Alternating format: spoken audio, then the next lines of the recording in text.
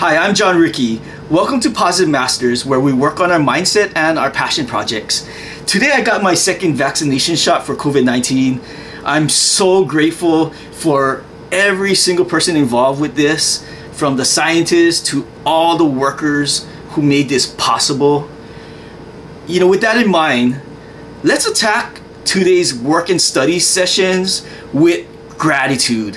Let's rock it so hard with so much thankfulness that our love and our passion goes straight into our work.